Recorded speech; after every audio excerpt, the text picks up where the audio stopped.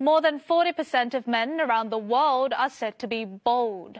Conventional hair transplantation required thousands of hair follicles to be surgically removed and implanted one by one. But now there is a new technique that dramatically reduces such inconvenience. Hair follicles are collected from patient's back scalp and inserted into a syringe-like tool one by one to be transplanted at balding spots. It takes between two to three hours to implant more than 2,000 follicles, an exhausting procedure for both the doctor and the patient. 단순 반복적이기 때문에 어, 근 골격계에 많은 무리가 되고 또 수술 시간이 길어짐으로써 환자뿐만 아니라 의료진 또한 피로도가 많이 증가하게 되죠. This is the serial hair implanter developed by the Electronics and Telecommunications Research Institute.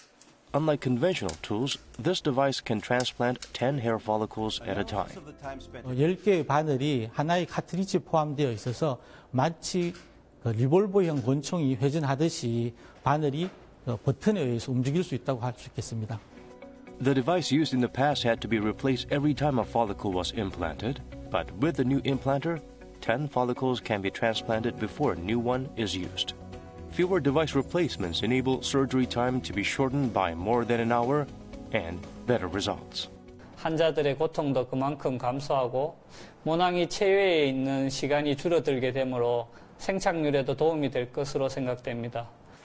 The multiple hair implanter, already commercialized in Korea, has also been registered with the U.S. Food and Drug Administration, paving the way for the product to enter the global markets.